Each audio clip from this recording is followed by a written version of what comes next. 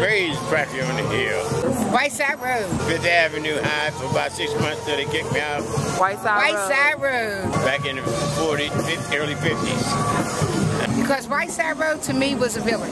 I used to have an uncle, my dad, junior hall, But yeah, we all was together. Seriously. Whiteside was a village. all the jazz when I was a young man, especially the jazz. We, this is a jazz town, and we got away from it, and I'm, I'm glad they're bringing it back. Because I, just come back from away for about 30 years, and I'm back now.